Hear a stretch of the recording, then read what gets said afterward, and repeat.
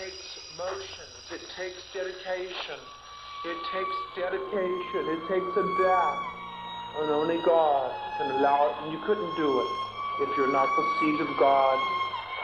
And so the path and the great corridors, these are corridors unto his perfection, that is, which the prophet, the Urim and Thummim, has penetrated, that through this great sea of blackness, that I penetrated through these corridors, and I went through that last segment where I went through these dark serpentines. I passed through that corridor where they sat, where they are.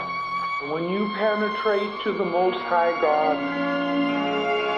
you will believe you're mad. You will believe you've gone insane. But I tell you, if you follow the secret window and you die Oh yes, there is many a man or woman that's been put in the sane asylum and this has happened to them. And they're sitting there today. People think they're insane, but they saw something that's real. And they see it when they're on drugs. The only thing is they see it not through the light of God. And the way I showed you, I showed you to see it through the light of God and the understanding of God. Because when you see the face of God, you will die.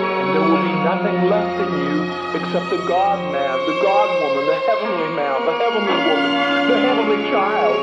There'll be prayer on your lips day and night.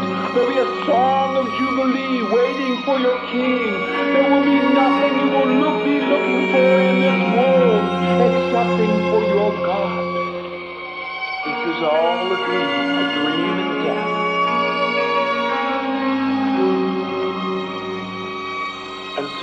went through that with you. I encountered hell, and the great serpentines of the highest order. And I went through that when I showed you chart number three. The question is asked in Urim and Thummim concerning the pit.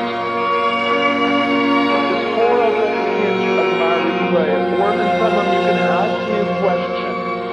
If it's asked from the right being or the right soul